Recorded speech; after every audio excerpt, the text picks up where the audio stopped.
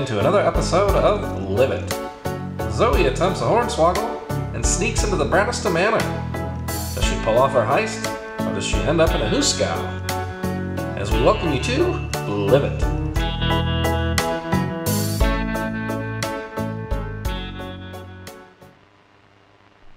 Okay, um, let's see. I already checked in. There was the room I woke up in. There, there was the, the, the parents' room. I, haven't checked this room yet. Okay, it looks like a small, not a small closet. I guess this closet seems to be bigger than my room at home. Wow, it's got a bunch of suit jackets. It might be in here. Um, I'll, I'll go on the high shelf. No, safe would it be on the high shelf? Duh. Um, I'll check under here. Maybe it's. Oh, that's a sock drawer. Those are ties. Who needs that many ties? Um. It has to be in here. This is this is the last room I checked. Oh, you clean Oh the I, I, I have it in you clean the dust room and I'll dust the clean room and I'll dust all the rooms. McDuncan's room, McDuncan's room. That kid really pisses me off. Oh, dust it here, dust it there, dust it everywhere. Now got a feather duster in me hand. McDooley, dooley, dooley, dooley, duster man. Hey, uh, Lisbeth. You you see my uh, my pants anywhere? I want you to iron them for me. Oh, Duncan, your room's a your room's a bloody mess, Duncan. Well, that's your fault, ain't it? That's true. You got old Elizabeth there, Duncan. Oh yeah. I don't know why I pointed out my own faults in my work. Please don't send me back to England. What are you What are you doing in here, huh? Oh, Master Duncan. Oh my God, my pants are missing for some weird weird reason. It's because you didn't put them on, Master Master Duncan. Well, that's because you didn't remind me. I'm so sorry. I'm so sorry to remind you to put on pants. I forgot. After you after you made a mess in them, I forgot I forgot they were in the wash. You're not supposed to talk about that, huh? I mean, it's just the two of us. I'm the, I'm the one who's washing them. What the hell is wrong with this family? I'm the one who's washing them, Master Duncan. Yeah, I know. You don't? Are you about to cry? where are my pants, huh? It's okay. I got I got them right there. Don't don't cry though. It's okay, Duncan. It's okay. Here you- here you go. Great. Here you go. Nice pair of slacks. Thank you. One foot into the other, and another foot into the other. Wow, you're real good at putting on pants. Thank you. I do it every day. Wow. Oh. Every other day. Never mind that. yep, every other day. Um, here's your belt. right. How do I buckle it? Oh, like this. Here, let me let me let me maneuver it for you. Oh, make me feel ow, stupid Ow, now. my hands. Oh, I got it, I got it, They're so okay. old and weary. Through the loop. Yep. We're good. You, All right. You missed one. Oh, yeah. There, there you go. Yeah. Well, good job, right. Master Duncan. Off Very- I go. On a hot date. How much did you pay for this one? I don't know. Oh, Enough. oh, it was a joke, but I see that it's actually turned out to be reality. Oh, hopefully he doesn't mess himself. On to the next room. Oh! What is wrong with this family? Got a crazy maid, a crazy mom, and a spoiled brat of a son. Okay. I, so I checked behind. Maybe maybe it's in like one of those like those wall safes. So so I'll check behind the jackets. Um, I can't seem to reach. Maybe there's something I can step on. I, I, I- I'll move the sock. The, the, no, that's too heavy. Um, here there's there's an ottoman. You know your closet's big when you can have an ottoman in it.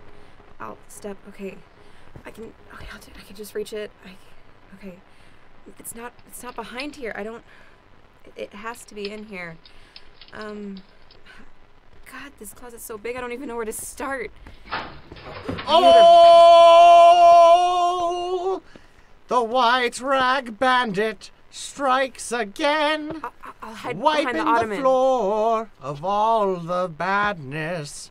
Hopefully, Duncan doesn't walk in again and hear me singing about how much I hate him.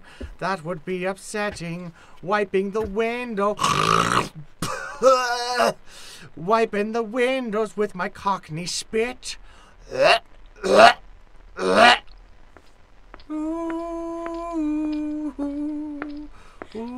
Elizabeth. Oh, mistress. Hello, yes. Um, have you cleaned my room yet? Yep, no spit on the windows or nothing. Are you sure? Because they're looking awfully peculiar. I've been I've been working for the family for years. Ain't ever spit on a window once, miss. Okay, well, I was just walking around reminiscing and kind of feeling a little emotional. What about you?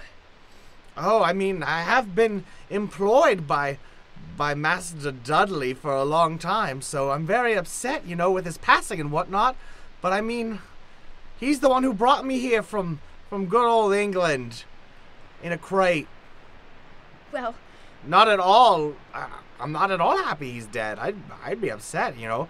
I I miss the way he used to hit me with a stick when I didn't do things right. It was really fun, actually, for both of us. Was, made a game of it. I got scars on my back. Elizabeth, darling, please. Sorry, just reminiscing myself. Oh, Cockney business, Cockney business. I miss England so much. Although if I were to go back, I would surely be killed. Treason against the Queen is a punishable offense. I'd be beheaded or something. Lisbeth, Lisbeth, please, would you stop that cackling? It's absolutely absurd.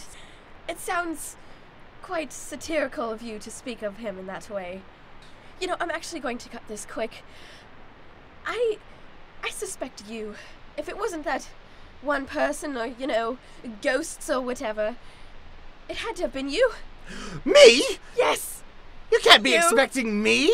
Good old Lisbeth, the Cockney maid. I'm so chipper and upbeat, and not at all covered in rashes. Well, I'm sorry, but I don't believe you, and we're going to have to have a serious talk. You can't send me back to England. They'll I have, might have to. They'll kill me there. Well, so be it. You've endured enough here. Maybe we have to send you back because I cannot deal with anything else here. All this weird happening and such. It's too much. Confess yourself. But I didn't do it. Too bad. You wish I did it. I- You know, I'm going to go sip some tea. I cannot handle any more of this. We will speak again. All right, I'm gonna go clean more windows.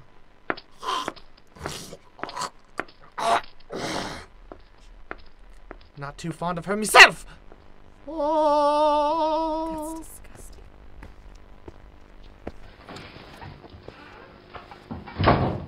Uh, There, wait, there. It's- It's behind the sock drawer. If I could just push it. Yes, I see it. Okay, it looks like it's it's um it's a number combination.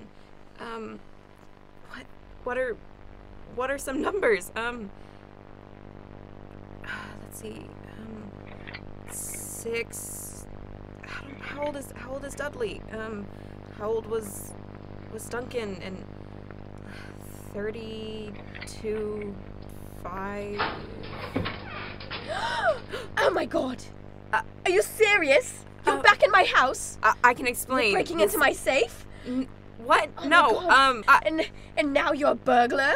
no. No. I. I, I I can explain. You see, I I came to see Duncan and and And hurt uh, him too? No, no. Oh my God. Um, uh, the pants. He uh he needed. You're going to not my son. No, no, no. Listen, he he needed pants, and so I, I came. He told me to come in here to look, and I, I- I swear I wasn't breaking into the safe or anything. You have the smirk of a dirty person. I don't believe you one bit. I don't know what that means, but I, I swear I, I'm not. I, I wouldn't. I I wouldn't do that kind of thing. I'm not. Why are you in my house again? I, Just tormenting. I tried to tell you I came here to look for for Duncan and Don't worry, ma'am. The constable's already on his way. I phoned them immediately, because I didn't kill anybody. no, listen, it's it's really not what it seems. I I, I like I said I came for Duncan and I, I- maybe I should be going. I should really Tell it to the constable. You'll get at least 30 lashings Get her for this out. one. Get her out, please. I cannot stand this or your face ever again in here. Why would you return to the very house you broke into? The very house you've been arrested? The very house The very you house you murdered, murdered my husband. My husband.